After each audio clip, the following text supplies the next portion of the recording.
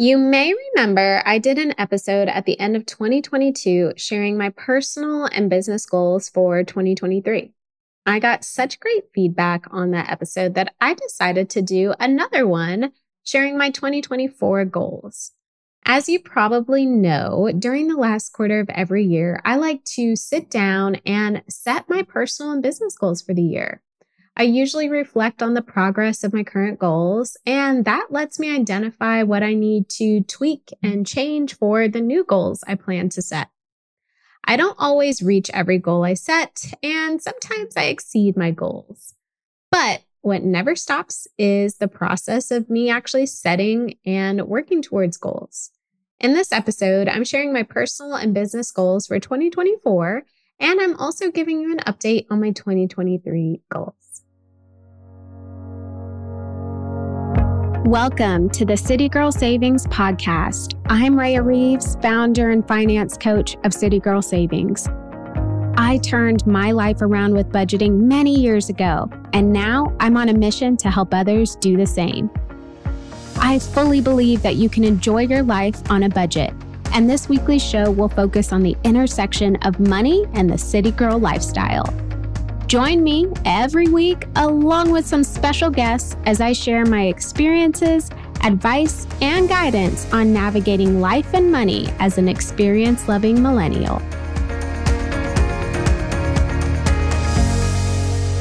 So, I actually want to start with my progress on my 2023 goals, personal goals and business goals, but we'll start with personal. And just so you are 100% up to date, I did a mid year goal check in earlier this year. It's episode 82. I'll link to it in the show notes. And if you already listened to that episode, you'll probably notice that I was off track on a handful of the financial goals at the time. So just kind of keep that in mind as I share my almost year end progress with you for my 2023 personal goals. I am recording this episode um, a little bit before you're actually listening to it. So some things could change, but I'm not expecting much to just based off how things are going right now. So let me dive in. The first goal I had for 2023 was to work out and eat healthy five days a week. I definitely worked out my five days a week, but I definitely did not eat healthy as often as I should have. And if my memory serves me correctly, I think I remember saying that eat healthy was a little too vague.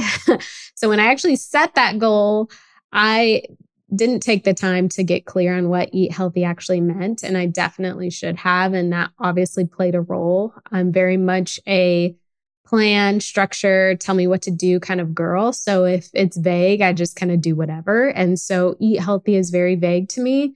So that's probably why I just did whatever with my diet. So something that I'll work on in 2024. Okay, my next goal was to max out my Roth IRA, which was 6500 for the 2023 year. I was able to max that out at the end of September. So that is something that I did get done in time, actually a little bit early. That was nice. I mean, at this point, that's kind of my only form of retirement. I had an old 401k through my corporate job way back when, and I had already rolled that over. So this is really my ongoing retirement plan.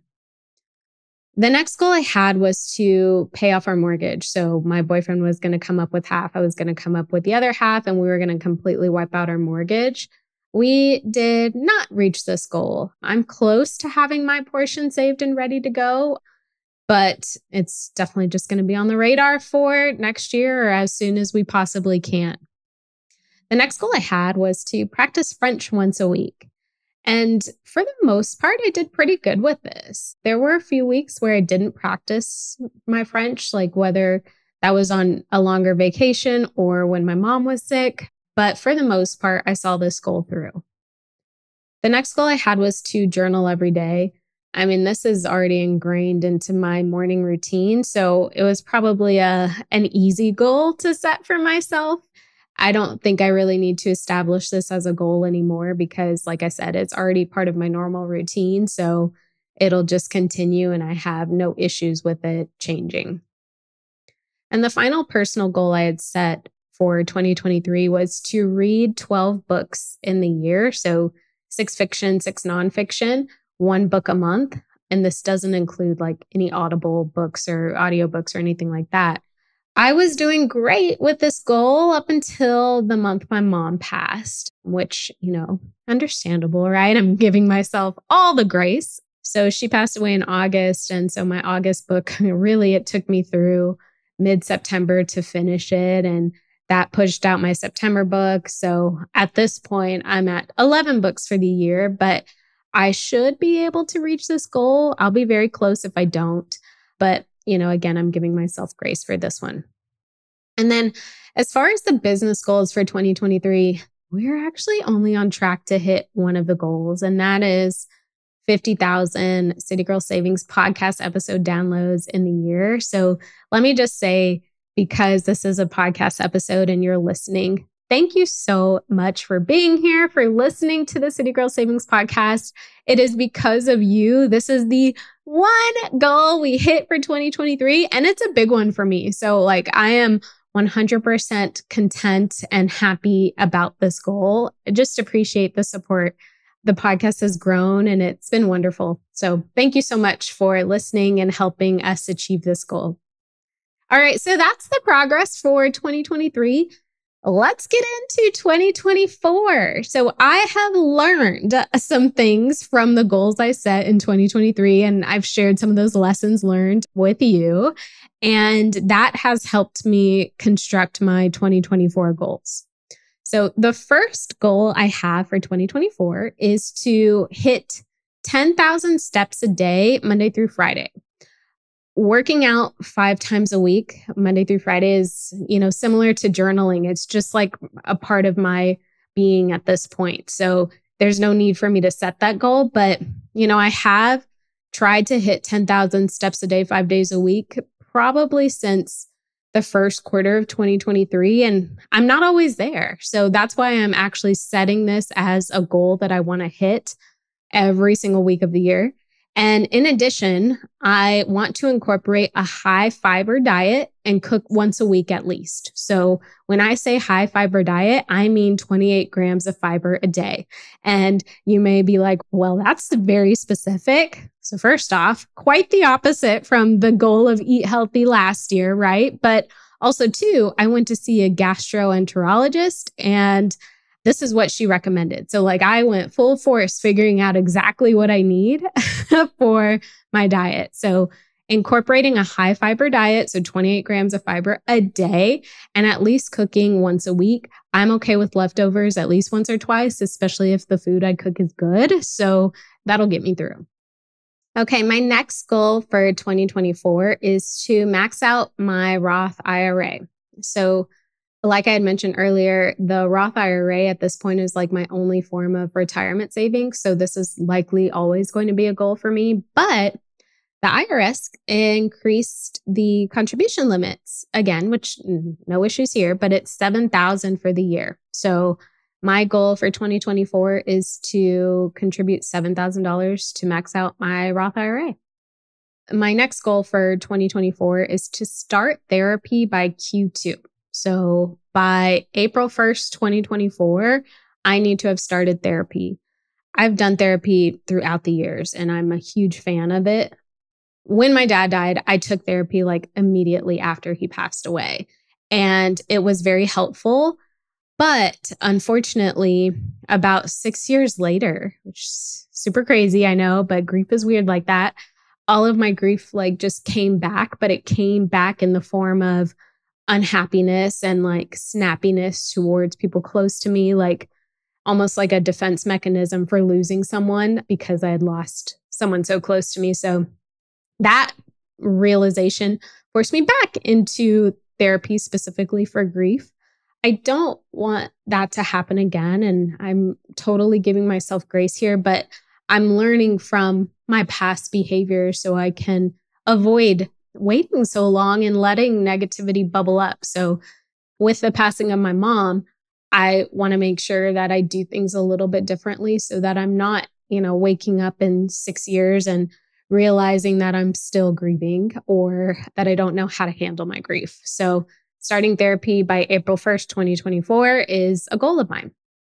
Next goal, practice French once a week. I want to be fluent in French. And I like even hearing myself say that, like, even though I've been pretty good with practicing once a week, it's going to take a while. So I just, I'm going to keep seeing this one through. Next goal, plan and take an international vacation. So the last international trip I took was Italy. I mean, I guess the Bahamas, I don't know if that counts as international. I did the Bahamas in 2023, but Italy was in 2022. And that was such an amazing trip. Like I planned, we did like a tour of Italy. It was amazing. I want to do the exact same thing for like France or England or somewhere international. So that's a goal of mine for 2024. And my final personal goal for 2024 is to pay off my car. My car is 0% interest. So it's not like keeping the monthly payments is doing me any harm, but I'm so close to paying it off. I just want to be done with it. I want that money back in my account, back in my budget. The car that I had before my current car, which is a 2020 Lexus RX 350, it was my dream car. The car I had before that was a Mazda 3, and I had it for 13 years. I didn't have a car payment. It was a, a gift for college. And not having a car payment for 13 years and then transitioning to a car payment for the past almost four years, I am ready to be done with car payments. So that is my final personal goal for 2024. Got a money question you want me to answer on the podcast? I'm starting a new segment on the show called City Girl Solutions, where I answer any questions you have for me money, business, life, you name it. Submit your questions at citygirlsavings.com forward slash QA and get your question answered by me in a future episode. And did you know that we have so many free money resources on our blog, Instagram, and TikTok channels? Find us across the internet at City Girl Savings. Okay, so now moving on to the business goals I have set for City Girl Savings for 2024. The first goal is 65,000 episode downloads. So this is an increase of about 1250 more downloads a month than what we're currently doing to hit the 50,000. A pretty big increase, but I think we can do it. Again, if you're listening, thank you so much for all the support so far. And if you have a friend who would love this show, please definitely share. You can help the CGS team reach that goal. The next goal for City Girl Savings for 2024 is to have 7,500 Facebook group members. So, this is the same goal that we set last year. We did not hit it. So, it's going to remain a goal so we can hit it in 2024. The way we're trending right now is we should be able to hit this, especially with some of the savings challenges that will happen in 2024 if you're listening to this and you're not already in the Facebook group, I'm going to link to it in the show notes because it's such an amazing group, amazing community. Like it's just phenomenal. So the more women, the more people we have in there in general, just the better. All right. The next goal for City Girl Savings or for business in 2024 is to have 10,000 newsletter subscribers. So again, same as last year, we did not hit this goal we got very close. But, you know, there's a process to building a newsletter, an email newsletter. You know, people subscribe, people unsubscribe, people are active, people are inactive. So, you know, part of the process of managing a newsletter subscription is taking care of all that, right? So we got really close to 10,000, but then, you know, we got a lot of unsubscribes. So we had to clear people out and there was definitely growth in 2023, but we did not hit that like steady 10K number. And that's definitely, you know, what we're working towards. So we're keeping that as a goal for 2024. And the final business goal for 2024 is to increase our revenue by 50%. So again, this is the goal as same as last year. We did not hit that goal either. In fact, in 2023, we actually had a slight income dip. So this was the first time in City Girl Savings history where our revenue did not grow. It actually retracted a bit. And I think, you know, it has to do with a few things like the state of the economy, you know, how people feel about the economy, student loan payments, even personal stuff on my end, you know, a lot a lot of the early part of the year I was focused on my mom and like not focused on growing the business, definitely focused on, you know, serving my clients, serving the community, you know, doing what always needed to get done, but there was very little focus on true growth and innovation because my mind wasn't there, understandably, right? The theme of this episode is give yourself grace, but a result of that is decreased revenue. So, we're turning that ship around in 2024. Our goal is to increase revenue by 50%. And it's definitely something where I'm in a better state of mind to focus on it. And combine that with the therapy I got to start in Q1 of 2024, I'm going to be a mental powerhouse. so I'm putting the stake in the ground now. All right. So you'll probably notice that I'm focusing on less goals for the business or for City Girl Savings in 2024 and actually focusing on more mental health goals for my personal life. Losing my mom definitely put a lot into perspective for me. Life isn't always about putting your head in the sand and working hard. There are times when the work just doesn't matter as much or it can't be your focus and you have to pivot your attention and I'm just so blessed that God and, you know, the universe slowed things down for me in my business for those months leading up to my mom's death so that I really could focus on her.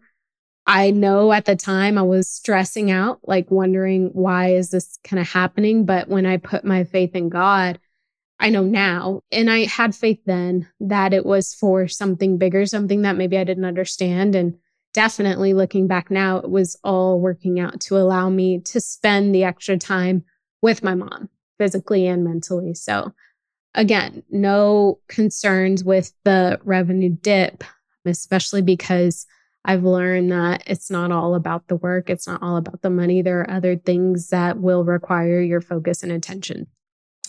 So, just wanted to share that with you like I said, 2024, I definitely want to turn things around. And I do want this next year to be a year where I work hard in my business. But I also want it to be a year where I take more time to just be with myself, take care of myself, and be with those I care about. I vow to work hard and I vow to play hard. I truly, truly love what I do for City Girl Savings. And I truly believe helping women succeed financially or just in life in general is like truly my purpose. But to help others, I also need to be in the best shape myself. So I learned that this year and I plan to honor it. So thank you so much for tuning in.